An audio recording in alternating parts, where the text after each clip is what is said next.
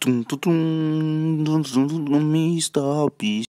Hello guys, it's Jimmy here, popularly known as Mr. Beast. So welcome to another video where I tell you do crazy things because I got bored and don't know how to spend the money I have. So what crazy things do I have planned for today, Chris?